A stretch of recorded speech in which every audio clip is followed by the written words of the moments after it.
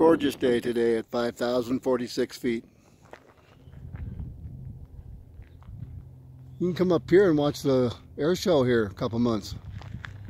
God, great view. There's the field right there. Bitchin'.